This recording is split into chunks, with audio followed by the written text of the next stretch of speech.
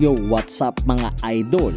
Jason N nga pala. So eto nga mga idol, sa latest update ni Janrel Cuadro Alas Casimero ay binahagi nga nito ang kanyang mga preparation na kasama si Kuya Lods na nag ensayo lamang sa kanilang planeta.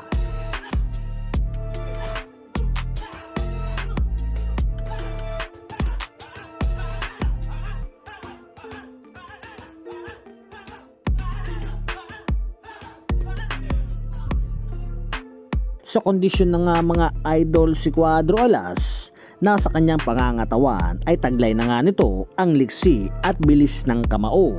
So may gugulong nga raw mga idol na ulo na kung hindi ka nga raw mabilis umilag, na mahina ba ang galaw ni Casimero ay bilisan mo lamang at umilag. So base naman mga idol kay Boss Bad Aratiles, ay maghihiganti nga raw si Cuadro Alas sa pagkatalo ng ilan sa mga Pilipino boxer. So possible nga mga idol ay baka magretiro ang makakatapat ni Cuadro Alas tulad na lamang ng nangyari kay Rio Akahu.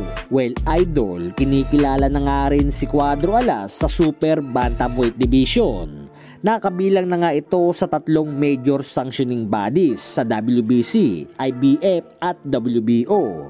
So mabilis nga lang na nakuha ito mga idol ni Cuadro Alas simula ngang pasukuin si Rio Akahu at tuluyang magretiro. So interim WBC featherweight title ang hawak ni Brandon Figueroa na samantalang si Janrel Casimero ay may malaking pag-asa na makakuha na ng mga title fights sa mga susunod na pagkakataon. So hindi malayo mga idol ang agwat ng dalawa na dati na nga din itong nagkampiyon sa tatlong dibisyon.